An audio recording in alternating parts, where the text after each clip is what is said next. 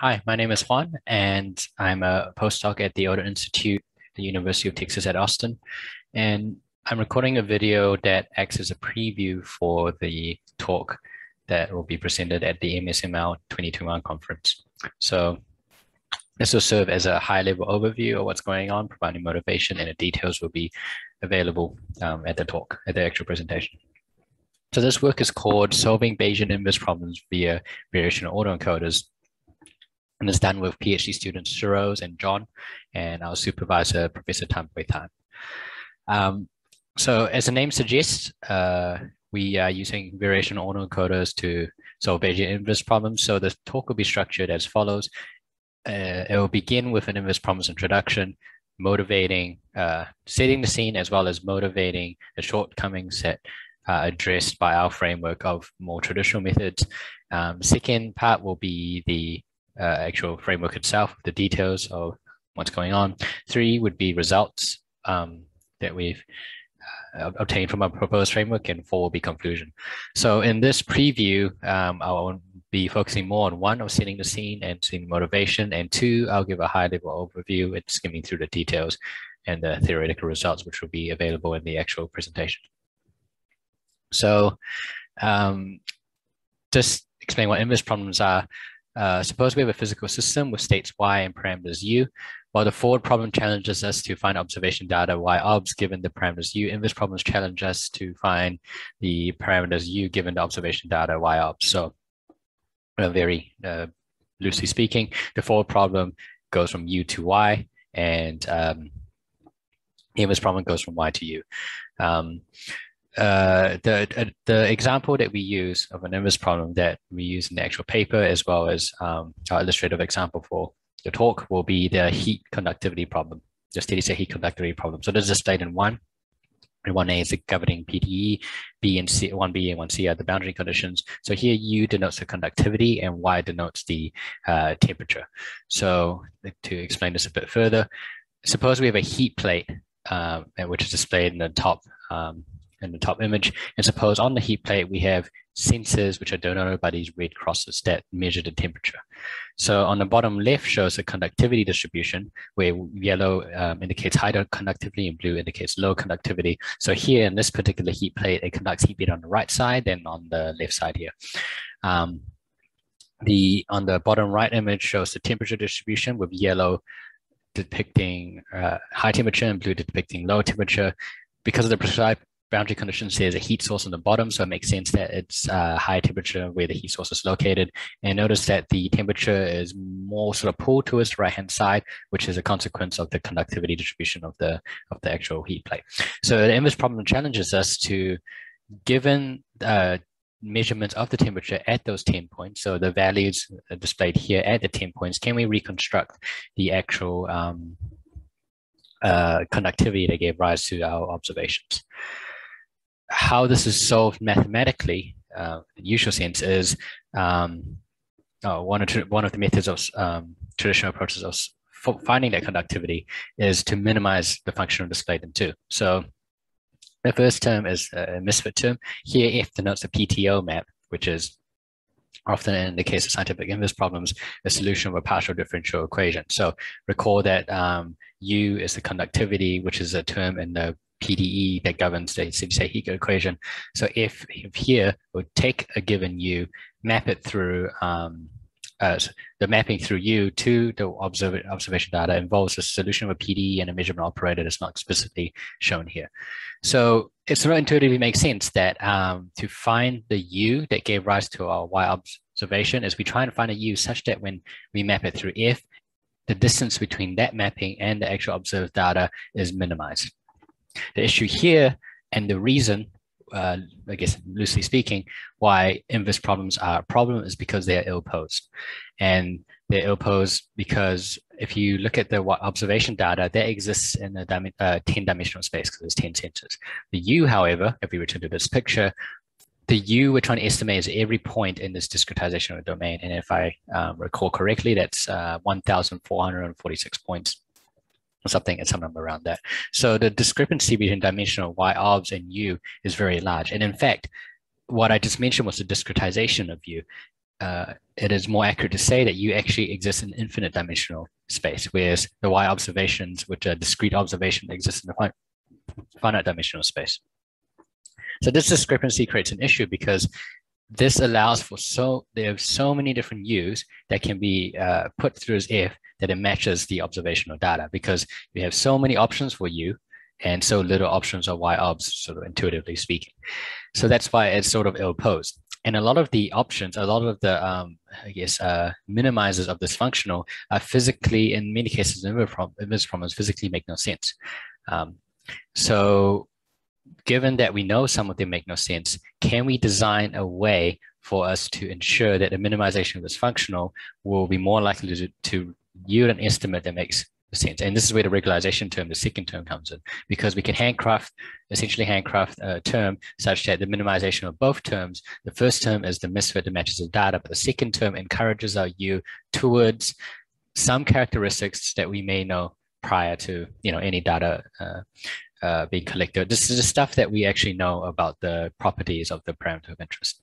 Okay, so the solution process of two is can be kind of slow because often you could use a derivative based uh, gradient based derivative uh, gradient based iterative optimization algorithm for minimizing this. It's slow because at every iteration you'd have to find the gradient also often map you through the the uh, parameter observable map. So that means if you give me recordings of the temperature at those 10 sensors i'd have to go through optimization to give you an estimate of you. Our idea here is to come up with something more efficient by using a neural network, which essentially acts as a solver. So what that means is that once the neural network is trained to map from a given temperature distribution to um, the estimate, if you give me 10 instances of uh, temperature measurements at those 10 measurement points, then I can instantly get you um, 10 estimates of the conductivity that gave rise to those measurements. The reason why um, it's instant is because the propagation, the input of the neural network will be the temperature measurements and the output is the um, estimates of the conductivity. The process of going from input to output through a neural network is, is essentially just matrix multiplication, which is often unrivaled in terms of computational uh, efficiency. So although while the uh, inference process, the process of estimation is fast, the training process of um, the neural network is uh, displayed in three here, which actually inherits a lot of the original computational inefficiency of two but there are extra issues with the training um, with the training procedure. So training neural networks are a data-driven procedure. So suppose here we have a paired data set of say we pull, we have like a thousand examples, um, uh, pre-known examples of conductivity distributions. Into each of those examples, we have uh, associated temperature measurement. So then suppose we have like a thousand pairs of these two. That acts as our training data. So what we want to do is train a neural network psi here, parameterized by parameters W, such that when you put in the temperature observations here, it gives you back the corresponding um, uh, conductivity. So essentially, the neural network acts as uh, um, so solving the inverse problem. And the parameter of, I guess, the parameters that we're trying to minimize for now are the weights of the neural network. So we are trying to train the neural networks by learning the best possible weights for this task. Um, so the issue that arises here is associated why neural networks are so powerful, and I guess in this case could be viewed as a shortcoming, because the weights here are an arbitrary quantity. Um, this is why they're used so well in so many different applications because the quantity often has no association whatsoever with the actual underlying problem, which makes them very uh, flexible and usable at the same time, a bit sort of mysterious um, in the sense that in two, we designed a regularization of the parameter trying to minimize for using prior knowledge U. In three, we, it's much more difficult to do that because we don't have prior knowledge of W. We don't know what those weights are supposed to be for our problem. So um, a, fundamental question of this approach is during the training procedure of the neural network, what do we use as a regularization term? And that's one of the main things that we address in our work here. So uh, again, four is the same as before, but now we propose a regularization term, which is a second term of four here. And this is proposed through an indirectly uh, regularizing the weight. So we don't know what the weight should be, but we know what the weight should help the neural network to do. And as we said, it helps the neural network estimate the conductivity. What that means is that if you estimate the conductivity and you run through a PTO map, if it does a good estimate, it should map the uh, it should match the observational data. So here we regularize the weights through the action, the uh, preferred or intended action of the neural network. Um, because now while it's the subject, you can add some um, noise regularization operator. And the same thing here, we can add, again, this thing, uh, neural network is meant to spit out uh, estimate of u. So while the weights don't have a physical property, the u might have a physical property, and perhaps we can encode that, and in doing so, indirectly again regularize the weights w. So um, it's all well and good.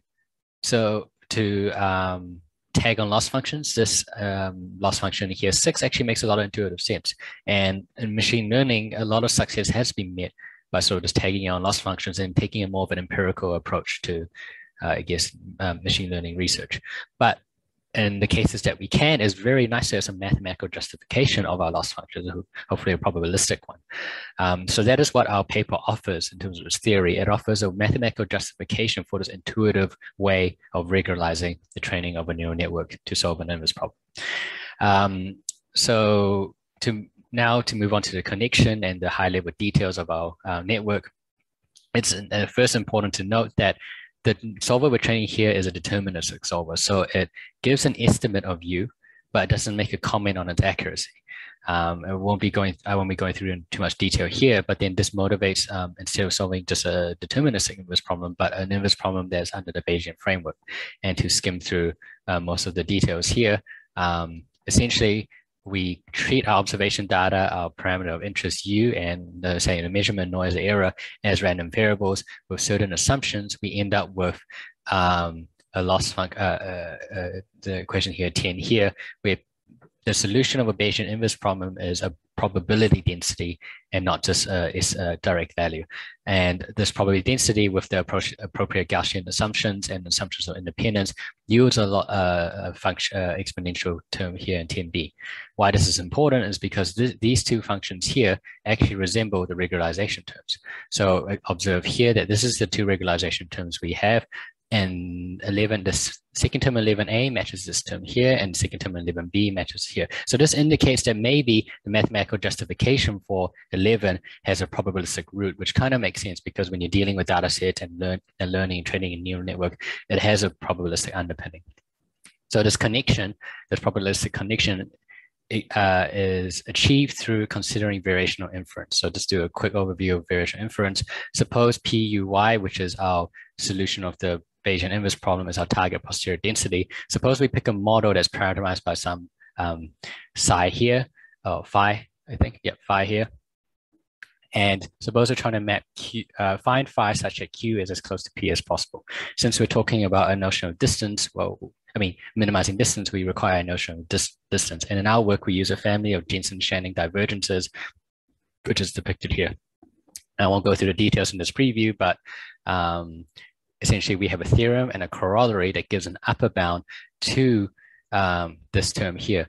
these are two KL divergences uh, and uh, Jensen-Shannon divergence is related to uh, the KL divergence. Essentially, is a distance between the Q and the P. In the case when 19 equals to zero, Q and P are equal um, when alpha is uh, equal to half.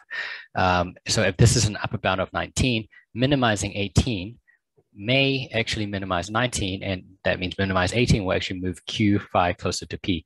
Um, the reason why we do 18 instead of 19 is actually um, 18 here is similar to these two here. This first term here is this term here, this term here is this term here, and this term here is this term here. And I won't, the, the talk will actually go through more of the details, but essentially, uh, to summarize, by using the Jensen-Shannon divergence, we uh, find a loss functional that it sort of mathematically justifies our intuitive loss functional that we're trying to go for. And the connection between these two can, again, be read in the paper or mentioned more in the talk. So the overall um, architecture is this, we have a neural network that you put in the temperature data and it spits out the posterior mean, which is like a point estimate of the temperature, and the covariance, which is sort of the quantifies the uncertainty of our estimate. So the training procedure, it has this loss functional here, which is uh, based on our theoretical underpinning. When we train this whole network, we can remove the second half and just keep the first half, and an inference will be just a propagation of a um, uh, observation data through the neural network to give us our quantified uncertainty and estimate.